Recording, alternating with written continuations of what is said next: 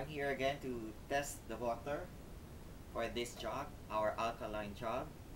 I will now do testing using our pH test solution. So this is our pH solution, the tester. Then now I will do test testing for this water whether after the filtration using this alka jug, so if the water is really alkaline or not. Okay. So first I will put the water inside the bottle. Is approximately 20 ml. So using our, our alkaline water after the filtration coming from our alka jug. Okay. So put the, the alkaline water inside the vial.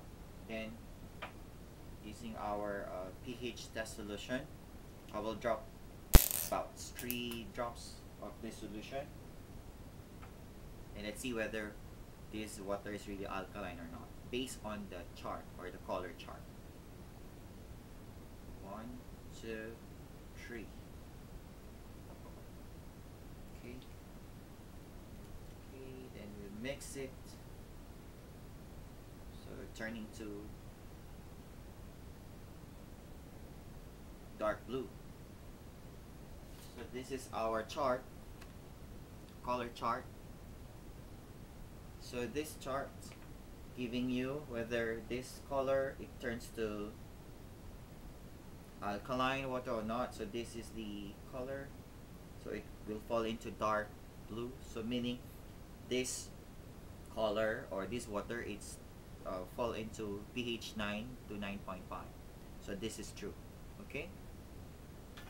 So after the filtration, you see I smell inside the reservoir or the for this jug, I smell the chlorine.